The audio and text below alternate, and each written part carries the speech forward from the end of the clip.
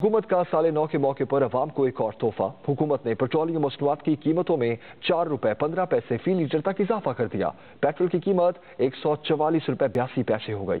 तफसील बता रहे हैं Arshad Ansari.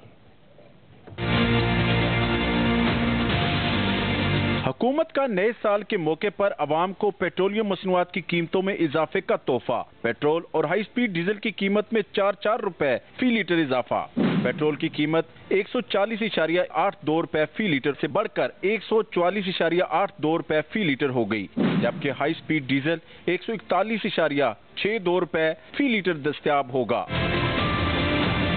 Light diesel oil की कीमत चार रुपए पंद्रह पैसे इजाफे के बाद एक सौ तेरह इशारिया पाँच तीन रुपए फ़ी लीटर हो गई है। तीन रुपए पचानवे पैसे के इजाफे के बाद मिट्टी का तेल एक सौ ग्यारह इशारिया सिफर छह रुपए फ़ी लीटर पर पहुँच गया। शहरियों ने पेट्रोलियम मसनूआत की कीमतों में इजाफे पर शदीद रद्द अमल का इजहार किया। महँगाई बहुत ज़्यादा हो गई है।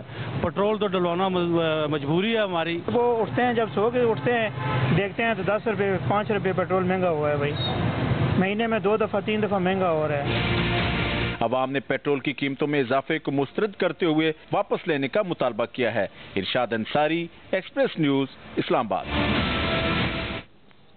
Pandora papers की तहकीकत आखिरी मराहल में दाखिल। वजी अजम मुआयना कमीशन ने पेपर्स में आने वाले 240 नामों में से अक्सर